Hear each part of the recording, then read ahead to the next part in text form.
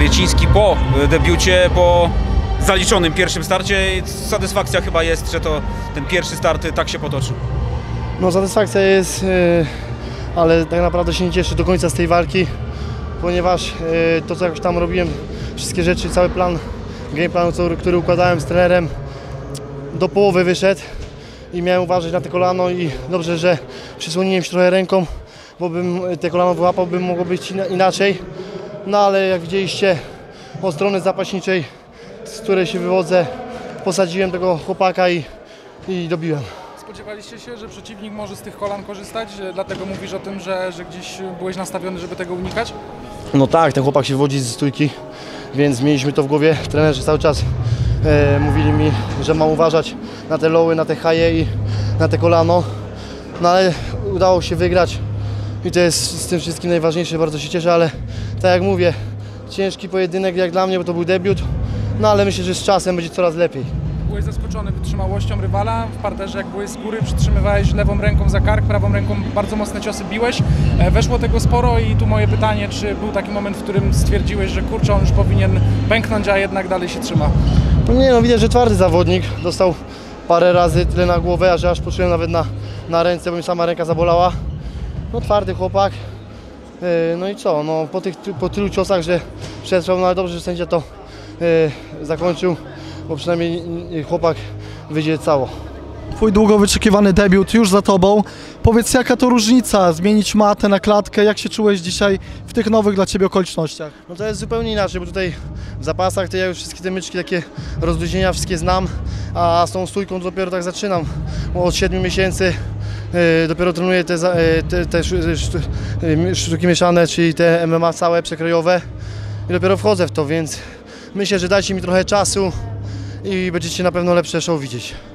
Z tą prawą ręką, o której wspomniałeś, że czułeś e, ból w tej ręce jak biłeś, e, coś już wiadomo, czy tam jakaś kontuzja się nie wdała, czy e, no nic się nie stało? No myślę, że nie, wiadomo, zabolało trochę, no ale myślę, że nie będzie nic takiego. Zobaczymy jutro. Może yy, na dzień dzisiejszy nie mogę nic powiedzieć, ale trochę boli ta ręka. Pierwsze zadanie w tym roku 2021 wykonane na piątkę z plusem. Jakie kolejne plany i kiedy będziemy ponownie mogli Cię zobaczyć?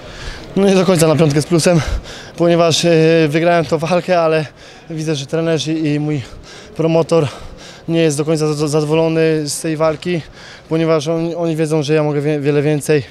No ale to mój, mój debiut, na spokojnie. Ja wiem, że z czasem będzie coraz lepiej, a tym bardziej, że ja jestem pracusiem i, i ciężkiej pracy się nie boję, więc myślę, że z czasem to będzie coraz lepiej wyglądało.